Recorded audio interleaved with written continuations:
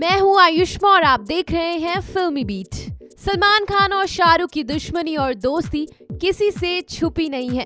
कभी इन दोनों में इतनी गहरी दुश्मनी थी कि दोनों एक दूसरे की शक्ल भी देखना नहीं पसंद करते थे। लेकिन धीरे धीरे दोनों ने अपने गिले शिकवे दूर कर लिए।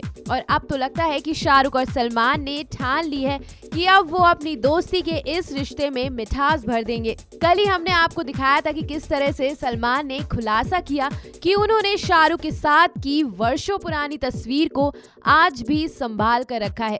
वहीं शाहरुख ने भी सलमान को लेकर एक ऐसा चौंकाने वाला खुलासा किया है जिसे जानकर ना सिर्फ़ आप चौक जाएँगे, बल्कि खुश भी होंगे दरअसल हुआ यूँ, शाहरुख के एक ब्रांड प्रमोशन के दौरान जब एक बच्चे ने उनसे पूछा कि सलमान आपके भाई है ना तो शाहरुख ने इस सवाल का जो जवाब दिया है, उसे सुनकर आप तो क्या खुद सलमान भी चौक जाएँगे। शाहरुख ने बच्चे के इस मासूम से सवाल का जवाब देते हुए कहा, भाई से भी बढ़कर है।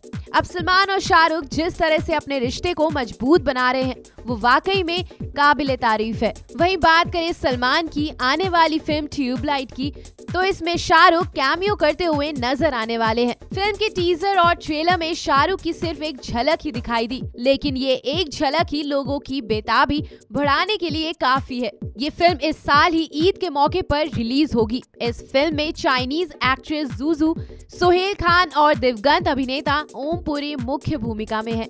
फ़िलहाल इस वीडियो में इतना ही। टेलीविज़न और बॉलीवुड की तमाम बड़ी खबरों को जानने के लिए देखते रहिए फिल्मी बीट।